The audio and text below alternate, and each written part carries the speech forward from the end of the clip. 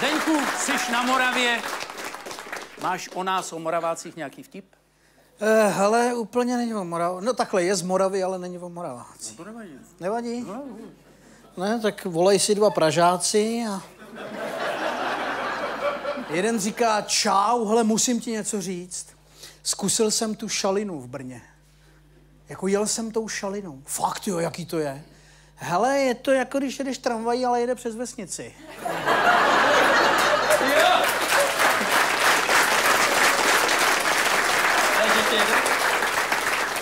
Takže do Brna už asi nesmím. No. Tak abych to úplně zazdil, tak taky si volej kámoš jeden říká, hele, víš, jak se řekne Brno pozadu? A on, počkej, uh, onrb, onrb, no, a víš, co to znamená? Ne, taky nic. Ženská pánovi říká, víte, pane Macháčku, my ženy, my jsme dokonalejší než vy muži, protože my ženy dokážeme dělat třeba dvě věci na jednou. On říká, no tak to s váma nesouhlasím teda. Já jsem včera řekl manželce, tady si dřepni a drž hubu a nic.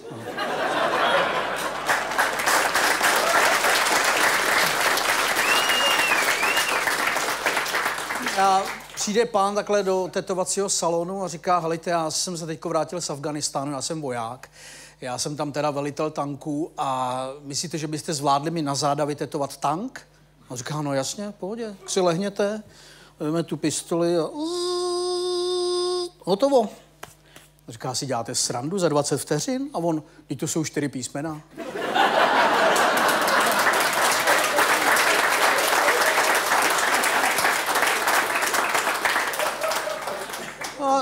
Sedí takhle chlapí v hospodě, takový zamlklý a on říká, co ti je? A on říká, hele, včera jsem si tuškou na ksicht namaloval fousy, jo.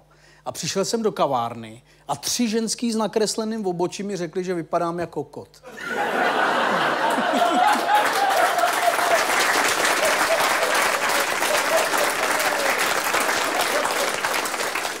No a e, taky sedí chlapi v hospodě a jeden říká, hele Fando, a jak ty jsi už dlouho rozvedený? A on, počkej, no teď, teďko to byly čtyři roky. Fakt, jo, to to letí, viď? Hele, už máš jinou ženskou? Ne.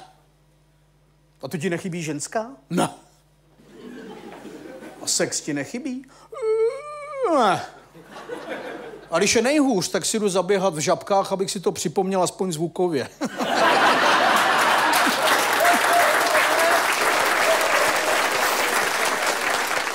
Babička v Český Třebový přijde na nádraží a teď peron úplně prázdnej, vlak odjíždí, jsou vidět ty červený světla, jak mizej takhle a všimne si, že tam na lavičce sedí chlap a drandí si Karla. A ona jde kolem něj a říká, helejte, to už se tak nehoňte, ten vlak ujel.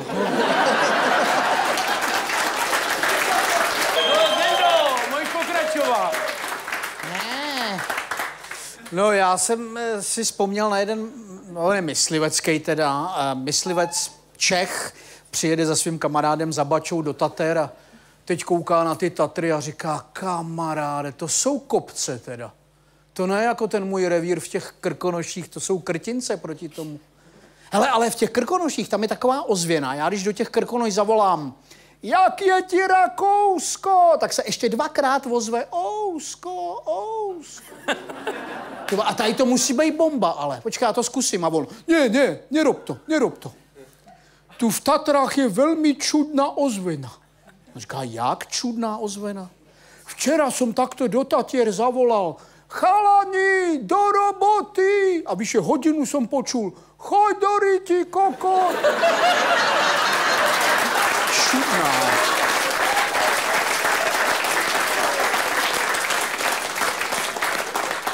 Sedou se dvě kamarádky na kafíčko u jedné a ta jedna jde do kuchyně a teď z kuchyně ta v tom obejváku slyší Jani, a jak to máš nejradši? A ona, hele, nejradši takhle ze zadu, jako když mě chlap trošku tahá za vlasy a trošku mě pleskne vždycky přes prdel a, a ona vykoukne a dělám ti kafe, ty krávo.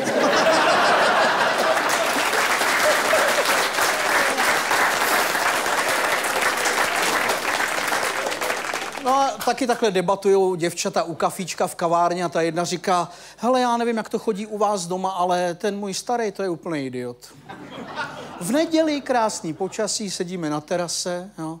Já byla taková rozněžněná tím počasím, tak jsem projevila takový přání, že bych jednou chtěla být spopelněná a ten debil mě objednal na čtvrtek.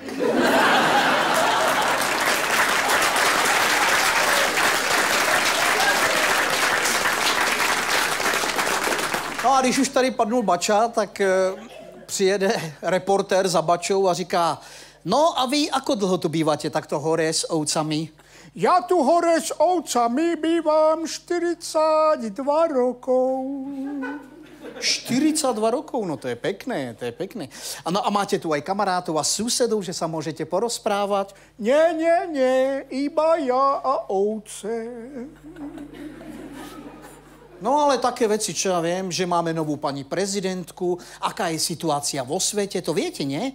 Neviem nič, nemám elektrínu ani televíziu, iba ovce. No dobre, ale tak čo ja viem, tak bezpečný sex, to poznáte, nie? Hej, hej, označím si tie, čo kopú.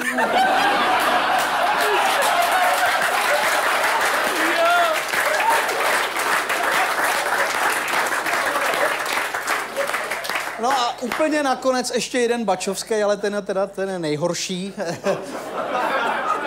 Bača se ožere, tak aby neupad, tak se takhle opře v hospodě a za chvilku si všimne ty svojí ruky a...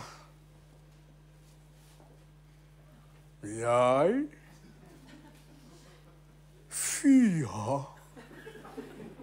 Štefan, pojď sem. Pozri sa hen tam dole, mám tam chlpy? Hej, máš tam chlpy. Jaj? Mám tam aj vajcia? Vajcia tam nemáš. Škoda, to by bol dobrý kokot. Zdendo, co říkáš? Máš tam nějakou sadu vtipu, aby se tam taky objevilo třeba štěstí? Existuje něco takové? A já jich řeknu pět a poslední bude o štěstí, jo? Výborně, to je ono. No, úplně nejlepší. Eh, Pán odsedí 15 let za neúmyslný zabití v kriminále, tam se úplně převrátí a, a říká, tak zítra mě pouštěj, tak zajdu hned do kostela, vyspovídám se, začnu nový život. Přijde do kostela, vleze do té spovědnice a otče jste tady? A on, ano, ano. Lejte, já jsem tady 15 let nebyl, jo, ale tady se to hodně změnilo v tom kostele, co? Jak to myslíš, synu? No říkám, tadyhle půlka busta, lahváč, pornočasopis a on, sedíš na mý straně?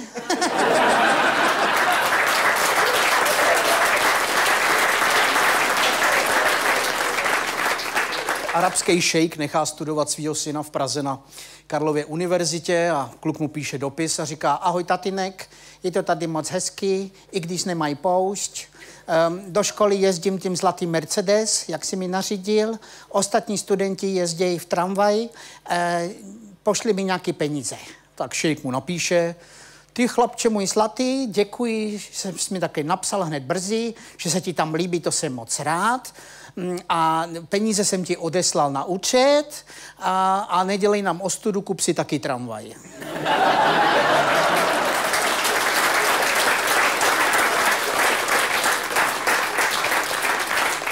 A ženská říká, tak si představ, Cyrile, tak gentlemani ještě nevymřeli. Dneska jsem domů jela metrem a tři muži mě pustili sednout. A on říká, to je hezký, Janičko. A vešla ses?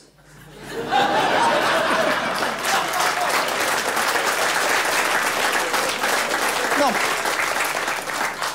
jako i smutnější umře pan Ferenc, starý a manželka jeho, co já mu dám do té rakve na sebe, teď ten oblek má 14 dní, to je škoda. Tak jde k Větnamcům, koupí teplákovku, oblíkne ho do té teplákovky, v kostele otevřená rakev, že jo, teď ona tam, kam mi to odcházíš, kam mi to odcházíš? A brácha toho neboštíka, no já si na olympiádu ty dilino, ho takhle oblíkla.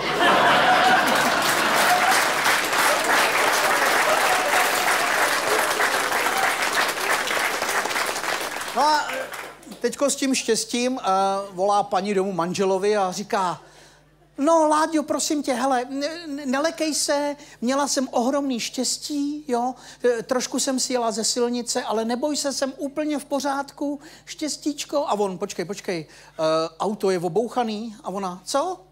Auto je obouchaný? Moment, prosím vás, auto je obouchaný? Ne, tak pan Potápěč říká, že ne. Skvělý. Eh, babička jde podat vysvětlení na policii a policista jí říká, no tak nám to popište tu situaci. A ona, Víte, já jsem seděla v parku a šla jsem krmit holuby, víte? A přišel ten mladík, sedl si vedle mě a chytil mě rukou kolem ramen, no. Jasně, a vás to teda rozčílilo a Ne, tak to mi nevadilo, víte, ale on mi začal rozepínat blůzu, jako, a mezi tím druhou rukou mi zajel pod sukni, no. Ježíš Maria. A to se vás teda dotklo nějak? A... Ne, tak ráda jsem zaspomínala na mladí, víte. No a on se blížil už ke kalhotkám a pak řekl apríl, tak jsem ho zabila hajzla.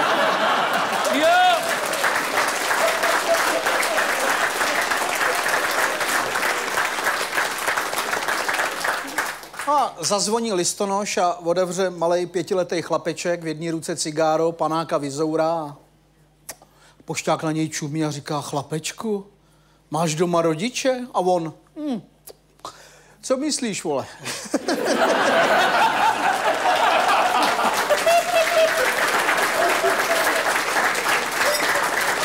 a tatínek volá na chlapečka a říká, Jendo? Já. Ty jsi listoval v té velké knížce, jak je na ní nápis Kama Sutra? Já. A ty jsi tam něco přimalovával? Trošku. Tak mi pojď pomoct rozmotat maminku.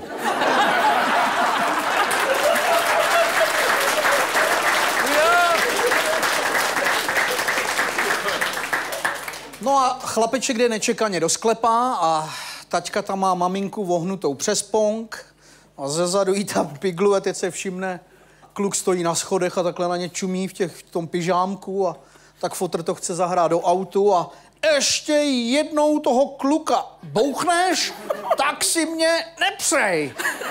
A kluk říká, tati, až skončí s mámou, tak chyť kocoura škrábe.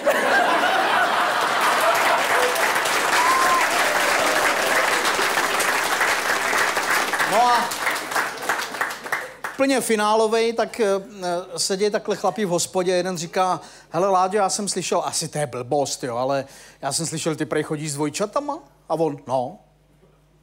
Počkej, jak no, jako chodíš? No. Jako s obouma? No. No ty. Počkej, a to s nima spíš? A on říká, no tak když s nima chodím, tak s nima spím, no. Jako s obouma? Jasně. No ty Hele, a je těžký je rozeznat? A on, ne, no tak Linda má modrý oči a Fanda fousy.